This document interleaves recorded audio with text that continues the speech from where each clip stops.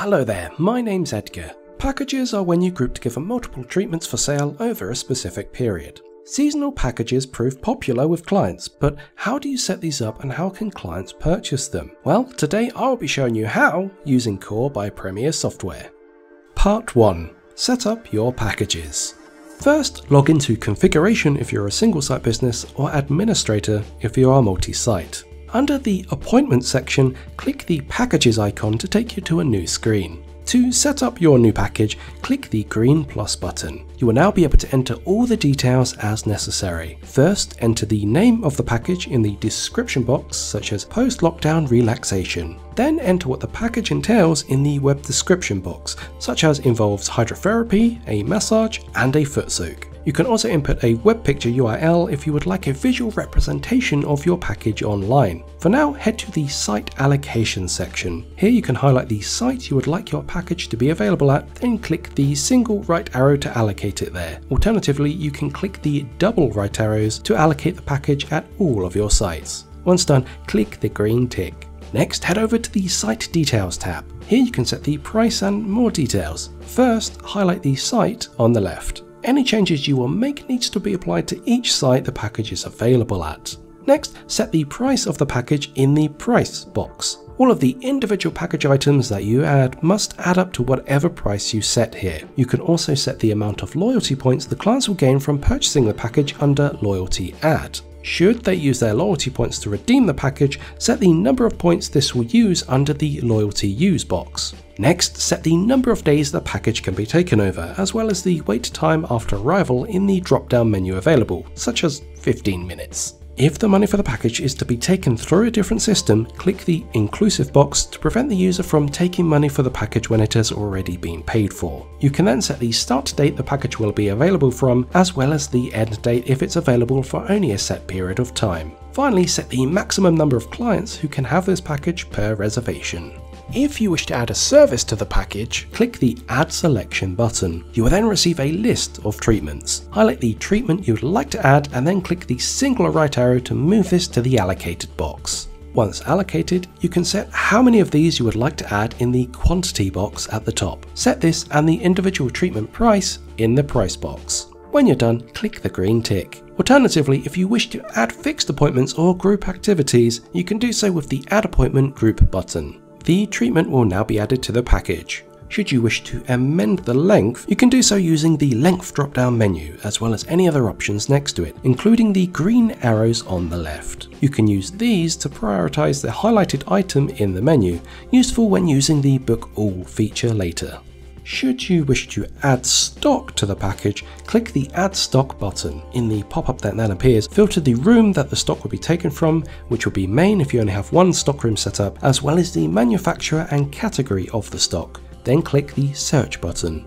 Once you have found the item in the list, highlight this and click the green tick to add this to the package. You can also add non-stock items to the package, such as a coffee using the Add Non-Stock button. Should you wish to remove an item from the package, this can be done with ease by highlighting the item and clicking the Remove Item button. Once you have added all the items you wish to add to the package, make sure their value adds up to the total price in the price box above. You will then be able to save the details by pressing the blue back arrow. Part 2. Setting your package availability.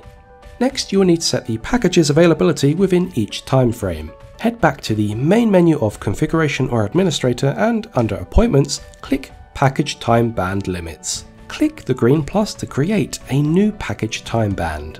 Here you can set the start date of the new time band as well as any applicable end dates. You can also select whether to create a blank time band or one based on an existing package. Click the green tick to complete. Under time bands, you can then set up the start time and end time for each band. Following this, under the Limits section, you can set the maximum number of people who can book packages on each day during each time band. For example, 20 people can book a package on Monday during time band 1. You can also set any web booking limits separately. Click the green tick to confirm the details. Next, you'll need to assign the time bands to your packages. Head back to the packages icon, highlight the package and click site details at the top. Head down to the availability tab next to information and click the green plus below the box. Then select the start date you wish the availability to take effect from. Select Create Blank to create a fresh template and then click the green tick. This will pull through the available time bands you have set up for that period. Under the Allow Booking section on the right, tick the time bands you wish the highlighted package to be available for. If you would like the package to only be selectable on one band from a choice of multiple time bands, tick the applicable boxes and set the number of bands booked as 1.